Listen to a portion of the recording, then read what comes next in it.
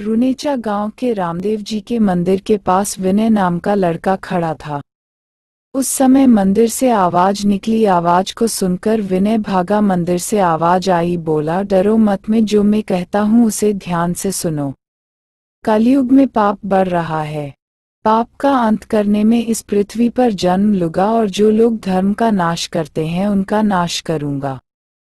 जो भी मेरे नाम से ग्यारह बार इसे किसी अन्य को भेजेगा, उसकी मनोकामना चौबीस दिन में पूरी होगी।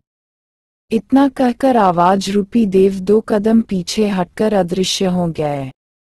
यह बात सुनकर मोबाइल दुकानदार महेश कुमार ने 11 बार अन्य को भेज दिए तो उस व्यक्ति को 21 लाख रुपए आकर्षक रूप से मिले। उसके बाद एक जाटों का लड़का जिसका नाम विनय जाट था ने ग्यारह बार भेजे तो उसको आठ दिन बाद ज़मीन में छुपा हुआ सोना मोहर से भरा एक कलश मिला। उसके बाद यह बात सुन के एक खोरी गाँव के राजपूत का लड़के ने दस बार भेजे तो उसे आर्मी में नौकरी मिल गई। गाँव ही राहुल नाम के व्यक्ति ने झूठा समझकर रोक दिया तो उसका बहुत नुकसान हुआ। और उसकी नौकरी चली गई।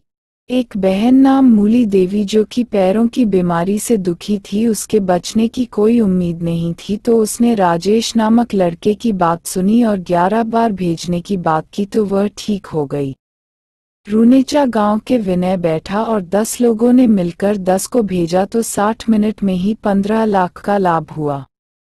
हर व्यक्ति से हमारी प्रार्थना है कि वे इस संदेश को डेलिट न करें।